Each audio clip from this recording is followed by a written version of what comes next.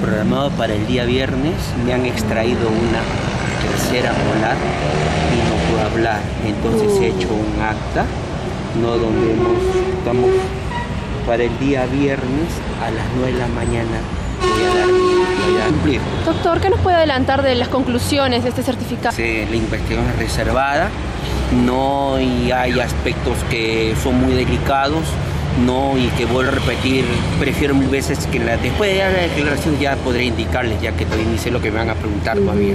Como ya me conocen, blanco, blanco, negro, negro. Pero se espera, precisamente la familia espera que se esclarezcan estos hechos Sí. para determinar si hubo o no responsabilidad por parte del galeno, del Y médico. yo soy el primer interesado porque ya cuánto tiempo ha pasado y, y- y- y lo justo, lo justo, y esto tiene que terminar cuanto antes. fiscal ha empleado 60 días más, señala. Bueno, ese, ese es criterio del fiscal, cosa que escapa a mí.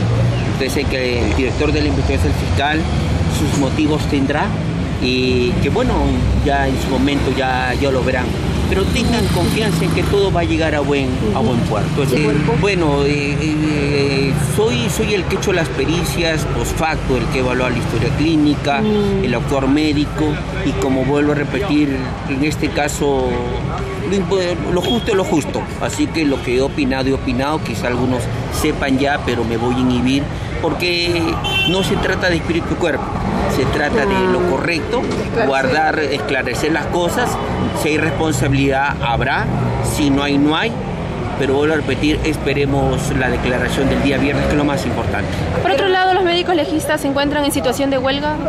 Sí, eh, desde el día de ayer por 48 horas, debido pues a una serie de reivindicaciones que no las tenemos. Desgraciadamente, pues, tú cuando vas a un hospital, eh, los dueños son los médicos.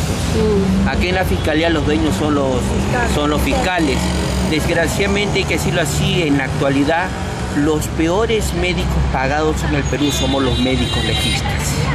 Los peores médicos pagados. Entonces reconocen ese trabajo. Desgraciadamente no reconocen incluso las guardias, mientras que un médico en un hospital por ocho guardias saca un promedio de 800 a 1000 soles.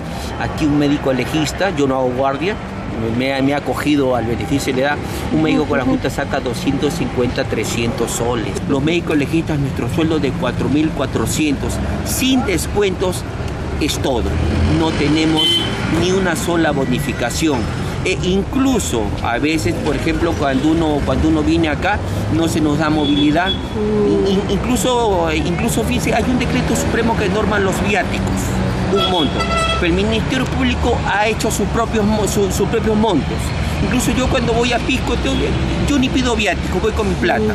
Porque a mí la verdad me da vergüenza estar mendigando que me den plata. Prefiero gastar mis 20 soles en mi bolsillo a estar aquí 3, 4 días y con el riesgo todavía que me digan que la, que la boleta está mal. Me han